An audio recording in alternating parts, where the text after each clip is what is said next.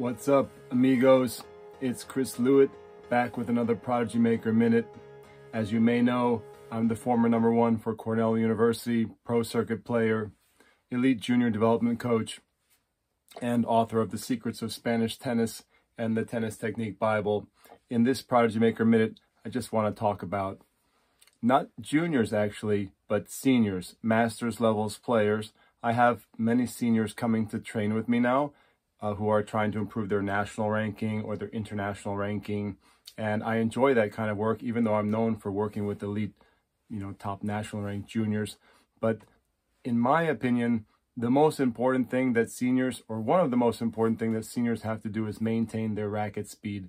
And so racket speed maintenance is something that's critical and often neglected in terms of senior tennis. Don't see that being talked about very much if you go on YouTube or if you see uh, what what coaches are working on with seniors, I often don't see a racket speed development or racket speed maintenance being worked on.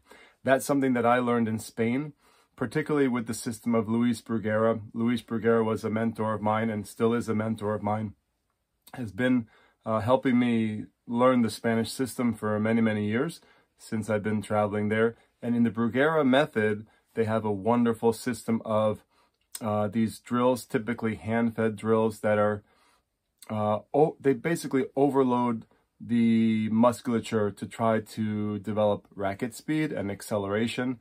And they're a series of rapid fire, rapid fed drills.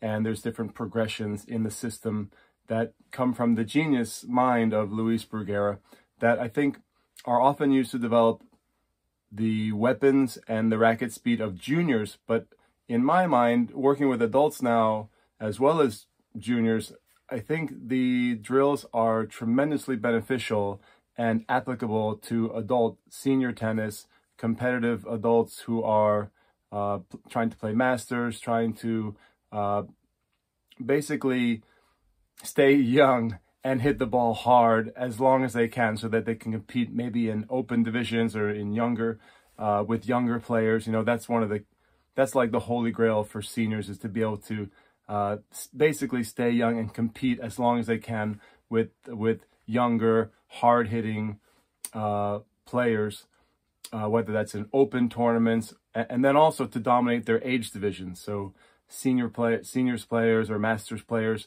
they want to dominate whether they're in the 45s or the 60s. They want to dominate their age division, but still be able to compete with younger athletes. So for me, one of one of the big keys is comes comes right out of the Spanish playbook, and that is racket speed maintenance, particularly with the exercises and the drills from Luis Bruguera and the Bruguera system. So if you're not familiar with those exercises, you can check out my book, The Secrets of Spanish Tennis, which is the seminal work on the Spanish system of training.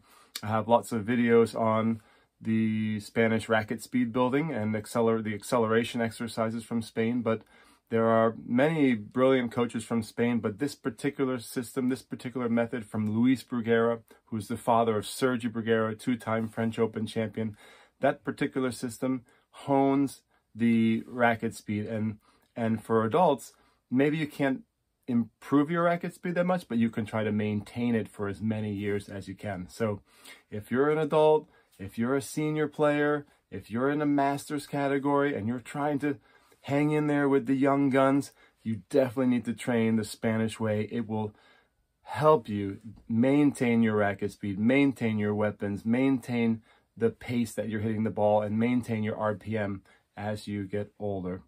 Very important. Uh, Guys, if you like this Prodigy Maker Minute, check out the Prodigy Maker Show. I'm known for coaching juniors, but I also love working with adults. And check out our YouTube channel. It's youtube.com forward slash Chris Lewit. Thanks, guys. See you on the next program.